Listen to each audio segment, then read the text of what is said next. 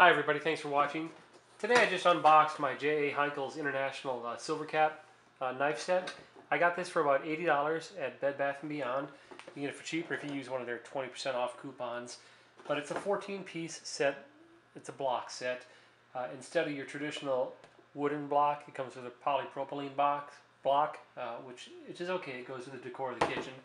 A little bit about these, these are high quality steel, stain resistant steel Again, it has the polypropylene handles.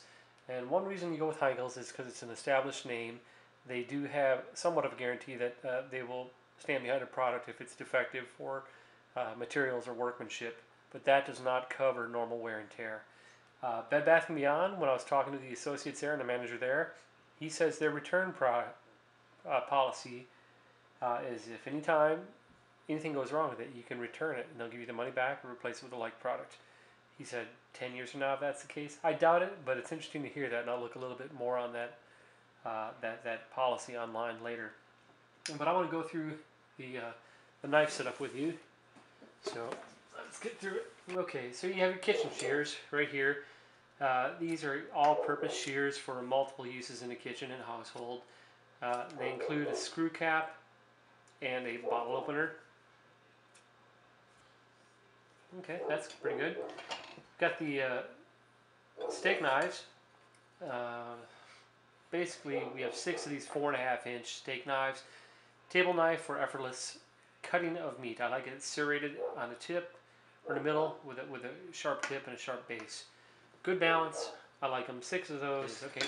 I do know they have a paring knife right here. This is a five inch, uh, three inch paring knife. What it says. Again, serrated. I do prefer the serrated on one side. And then we have the uh, this one. It's a five inch serrated utility knife. This is for tomatoes, um, salami, bagels, other foods with a tough crust or skin and a soft interior. Kind of like a miniature bread knife. Up here you have a six inch utility knife. This is just for many cutting jobs such as peeling, slicing, chopping, and carving. So if you have smaller hands or you're working with smaller uh, foods, rather than your full-size chef knife. This is a six-inch utility backwards. This knife right here is a five-inch hollow-edge Santoku knife. Um, it's an all-purpose Asian-style knife for slicing and chopping, uh, and the hollow grooves help give it a better release. Yeah, to go try one of these knives out on that dog. A hot dog. Okay, here's your 8-inch chef's knife, also called the cook's knife chopping, dicing, slicing. You've all seen these. It's actually got a real nice weight to it. You know, tip down. I like this. Can't wait to try it out. And finally, every knife set has a bread knife. This is an 8-inch bread knife for cutting bread or other foods with a tough skin or crust with a soft interior. So for about 80 bucks, you get a nice modern looking, good quality or mid-range quality set of knives. Um, you'll see these in future videos as I cook things.